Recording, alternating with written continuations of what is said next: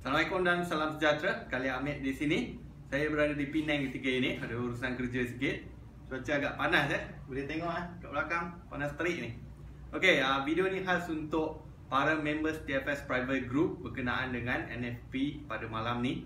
Jangkaan saya USD akan menguat berdasarkan pembacaan fundamental dan juga beberapa uh, result beberapa news uh, yang telah dikeluarkan sepanjang minggu ni kebanyakannya memihak kepada USD.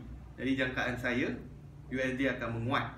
Walau bagaimanapun secara teknikalnya uh, contoh macam Euro USD eh pairs yang quote USD macam Euro USD, GBP USD uh, saya jangka uh, mereka akan meneruskan kenaikan.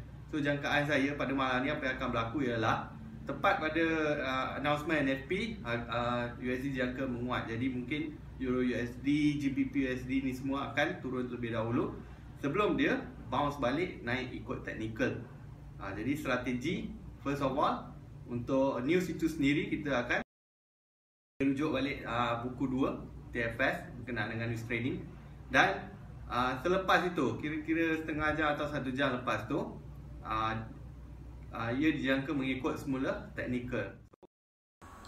Baiklah, sekarang kita tengok apakah hasil daripada analisis tersebut. Ini merupakan petikan daripada Forex Factory. Ia adalah satu laman web uh, khusus untuk forex trader melihat berita-berita yang akan diumumkan setiap hari. Dalam Forex Factory, 4 Mac 2016, pukul 9.30 malam waktu Malaysia, Uh, inilah yang news yang dimaksudkan iaitu non-farm employment change. Kita data paling penting di sini adalah forecast dan juga actual. Jadi forecast untuk bulan Mac adalah 195,000. Uh, non-farm employment adalah uh, bilangan pertambahan pekerja dalam sektor bukan perladangan. Tetapi result sebenar actual adalah 242,000. Jadi ia merupakan satu berita baik untuk uh, US currency USD. Jadi bila ada berita baik USD, XXX USD, contoh Euro USD, GBP USD akan menurun manakala USD XXX akan menaik. So sekarang ia adalah satu good news. Jadi dalam chart nanti saya akan tunjuk uh, uh, Euro USD uh, telah menurun disebabkan oleh news tersebut. Walau bagaimanapun, disebabkan ianya bertentangan dengan teknikal, antara setengah jam ke satu jam, ia akan turun. Tetapi kemudian dia dijangka akan naik semula mengikut uh, analisis teknikal. Untuk trade news ini sendiri, ia memerlukan satu teknik khas kerana anda tak akan dapat enter post semasa pukul 9.30 malam tu. Uh, pukul 9.30 malam, biasanya semua broker akan freeze. Kita tak boleh nak enter post ataupun close position kita. Ha, tambahan pula result news ni ha, walaupun 9.30 tapi mungkin ha, sekitar lepas 30 saat atau 1 minit baru dia muncul. Dia tak akan terus muncul tepat-tepat pukul 9.30. Jadi kita tak akan sempat nak entry semasa news diumumkan.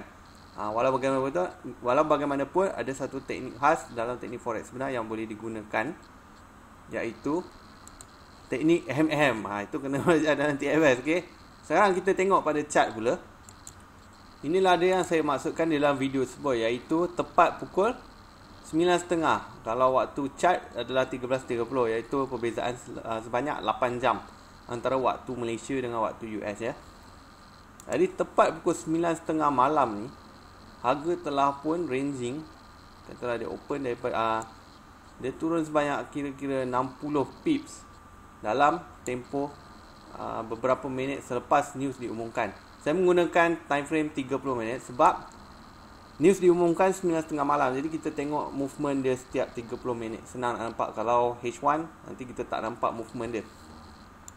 So bayangkan daripada dalam masa 30 minit pertama tu dia telah turun sebanyak 60 pips eh tadi. Ha, ini saya ambil atas sikit. 60 pips dia turun. Lepas tu dia patah balik. So turun 60 lepas tu naik balik 60.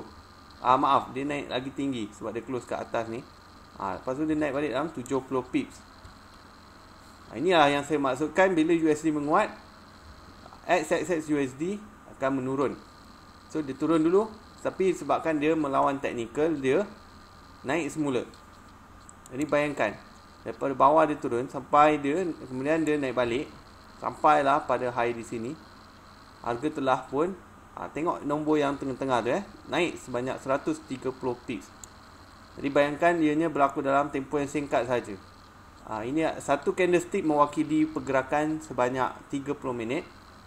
Jadi 1 2 3 4 ha, jadi bermaksud ia adalah movement selama 2 jam saja So dalam tempoh 2 jam dia turun 60 pips lepas tu dia patah balik ikut teknikal sebanyak 130 pips. So kalau anda gunakan uh, news trading ada dua kaedah dalam TFS, teknik forex sebenar. Yang pertama kita boleh trade news tu sendiri turun 60. Kemudian kita entry ikut teknikal pula dapat lagi 130. So kalau anda makan atas bawah, anda dah pun dapat 200 pips ini merupakan beberapa hasil trade TFS Private Group Members uh, pada NFP March 2016. So ada beberapa orang lah dekat sini yang saya tunjukkan sebahagiannya yang telah pun uh, profit dengan uh, dengan jayanya pada hari tersebut. So anda boleh nampak saya pun ada komen update dekat situ hasil trade saya. Tak nampak lah eh sebab kecil sangat. Ha, yang ni dari akaun negatif dah balik modal untuk malam tersebut dalam masa dua uh, dalam tempoh satu hari saja dah berjaya balik modal. Nama-nama ni disorokkan untuk mengelakkan orang daripada diserang. Sebab ramai yang mengadu pada saya bila nama dia orang dipaparkan ramai yang PM tanya macam-macam. Ha, suruh suruh wajah pun ada. So sejak daripada itulah siapa-siapa yang nak bagi testimonial ni saya cakap saya tak akan paparkan nama dia orang. Melainkan dia orang sendiri yang cakap tak apa So boleh tunjuk. Ha, Itu dalam website Teknik Forex. Benar Ada beberapa orang yang anda boleh tengok sendirilah Dia punya uh, personal FB profile. So selain daripada NFP Ada beberapa lagi news lain yang kita boleh trade juga.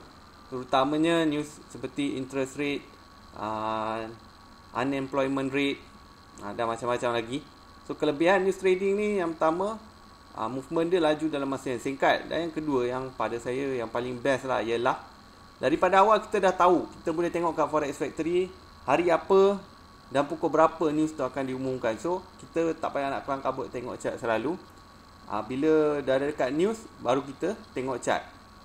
Uh, itulah pada saya lebih bermakna uh, ia satu kaedah yang sangat-sangat memudahkan trader yang sibuk tak dapat nak selalu beranalisis saya contoh NFP ni saja.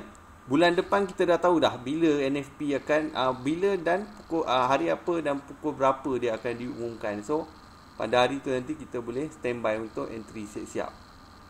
Tapi kena tunggu masa news masa hari tu lah baru kita boleh nampak dia nak ke mana. Kalau sekarang tak nampak lah cuma kita tahu bila dia akan diumumkan. Baiklah itu saja untuk video news trading daripada saya Kali Ahmed. Semoga ia bermanfaat dan anda dapat pelajari sedikit bagaimana kaedah news trading dalam TFS yang saya ajarkan. Ha, semoga kita berjumpa lagi dalam video-video yang akan datang. Terima kasih banyak-banyak.